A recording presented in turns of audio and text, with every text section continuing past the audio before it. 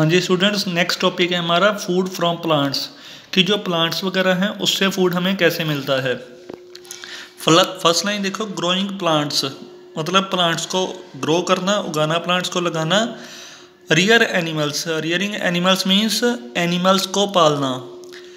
इन दोनों को किस चीज़ के लिए करेंगे हम? फ़ूड के लिए, खाने के लिए क्लोथिंग के लिए, और अदर जो यूज़फुल हमें प्रोडक्ट मिलेंगे, उसको क्या बोलेंगे? एग्रीकल्चर मतलब प्लांट्स को लगाना और एनिमल्स को पालना किसी भी यूज़फुल प्रोडक्ट के लिए उसको बोलेंगे एग्रीकल्चर नेक्स्ट फिर है प्लांट्स ऑफ़ सेम काइंड मतलब जो भी प्लांट्स हैं, जो पौधे पेड़ पौधे वगैरह हैं सेम काइंड के अगर लगा दें हम किसी बड़ी जगह पे लार्ज स्केल पे उससे क्या मिलेगा? फिर वही चीज़ें मिलेंगी फ़ूड क्लोथिंग या यूज़फुल प्रोडक्ट्स उसको बोलेंगे क्रॉप्स इसकी एग्जांपल्स हैं, अगर सेवरल प्लांट्स मतलब काफ़ी सारे प्लांट्स अगर मेज़ के हम ग्रो कर दें मेज़ मीन्स मक्के के ग्रो कर दें किसी लार्ज फ़ील्ड पे, बहुत बड़ी फ़ील्ड पे ग्रो कर दें तो वो फिर क्या बन जाएगा?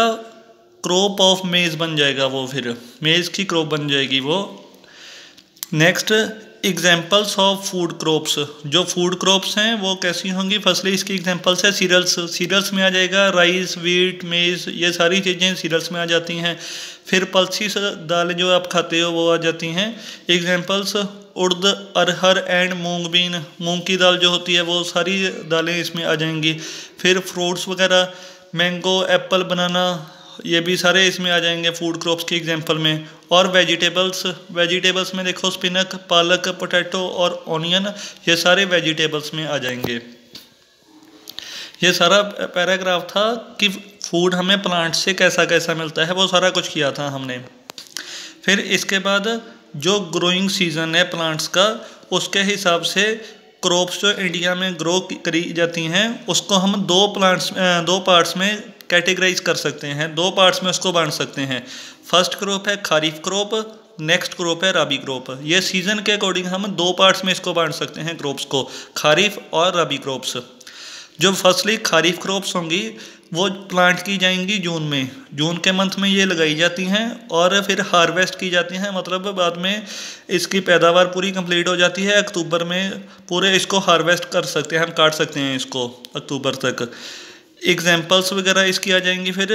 राइस चावल वगैरह मेज़ मेज़ पड़ा था अपने मक्का कॉटन एंड ग्राउंड नट ये इसकी एग्जाम्पल्स आ जाती हैं खारीफ क्रॉप्स की। फिर नेक्स्ट राबी क्रॉप्स जो राबी क्रॉप्स हैं वो प्लांट की जाती हैं नवंबर में आ, मतलब लगाई जाती हैं नवंबर में और बाद में काटी जाती हैं हार्वेस्ट की जाती हैं अप्रैल के मंथ में हार्वेस्ट की जाती हैं ये। इसकी भी example wheat barley pea and gram ये इसकी रबी क्रॉप्स की एग्जांपल्स आ जाएँगी।